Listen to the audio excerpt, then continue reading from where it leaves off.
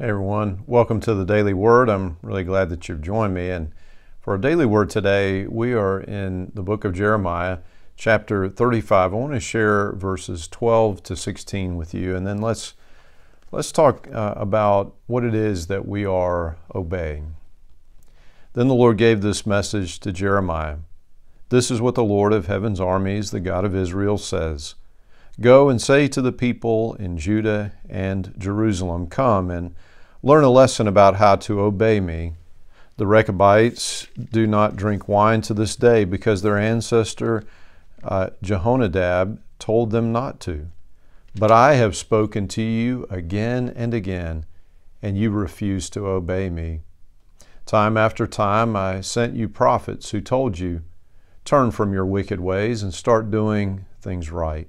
Stop worshiping other gods so that you might live in peace here in the land, the land I have given you and your ancestors. But you would not listen to me or obey me. The descendants of Jehonadab, son of Rechab, have obeyed their ancestor completely, but you have refused to listen to me. So the God, God uses the Rechabites um, as a lesson in obedience. And man, it is a, it is a strong lesson. Uh, their ancestor Jehonadab, he he kind of set the sort of family precedent. He was the patriarch of the family, and he he said, you know, we're going to remain as a family. This is who we are. We're going to remain as a nomadic people. So likely they uh, they herded animals, and they, they weren't going to settle into towns. They weren't going to have homes. They would live in, in tents, and, and that would keep them separate. Uh, that would retain their identity. And so they listen to that, of course, and as we read. And then also, they are people who, who don't drink wine. Now, we don't know what the origin of that is exactly, but, but the thing about this is, is that the, these are not divine commands. The, these are just the, the thoughts and practices of, of an ancestor. And yet, to honor him, to honor their heritage, they, they obey these things. Um, now, the people of God, on the other hand, the Lord points out, the people of Judah and Jerusalem will not, they refuse to obey God, even though He's not just an ancestor, He's not just a family member, He's not just a respected person, He is the Lord God Almighty. They do not honor Him, they don't honor their calling or their heritage, though they are called by God Himself.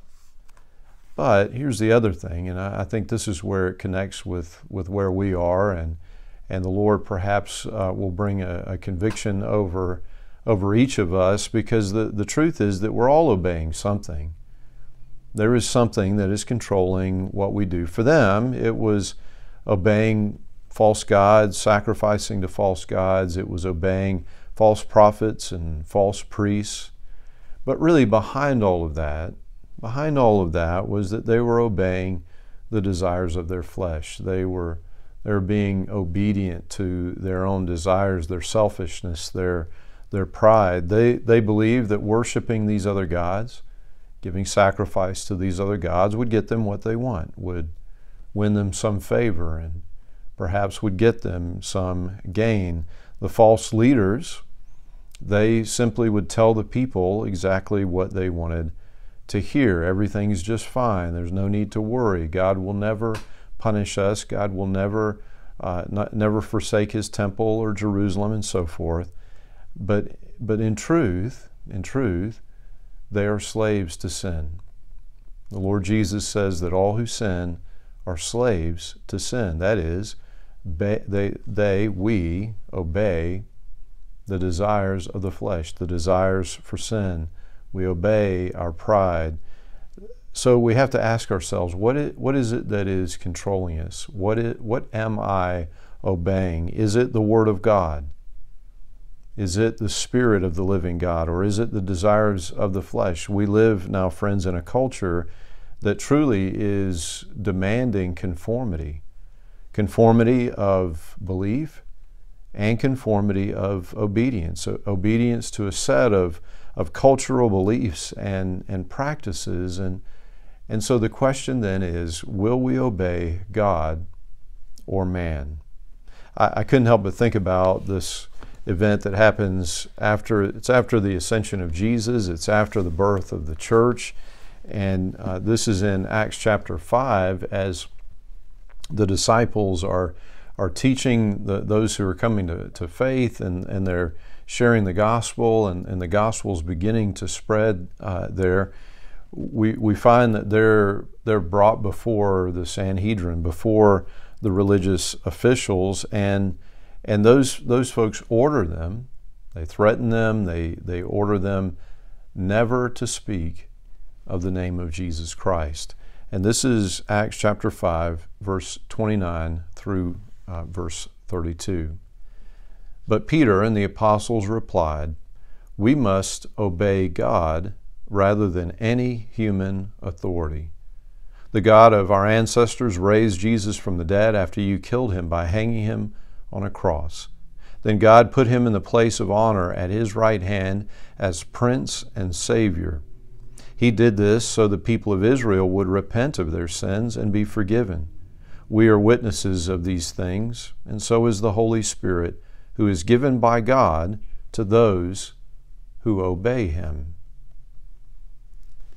And so, friends, we are called then to repent of our sin, that is, to repent of the ways in which we have disobeyed, rebelled against God, and to place our lives in the hands of our Savior who is seated at the right hand of God the Father Almighty, who is seated on the throne, who is the King of kings and the Lord of lords.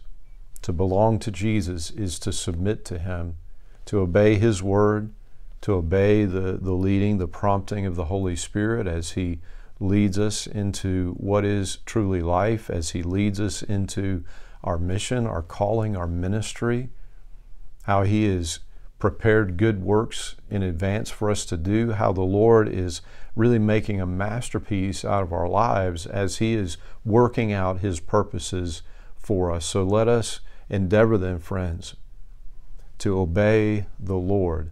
No, no human authority, no human authority above Him. Certainly not our desires, our pride above Him, but Jesus Christ as Lord of our lives. In His name we pray. Amen. Amen. And friends, until we have a chance to speak again, I pray that God would bless you and that He would keep you.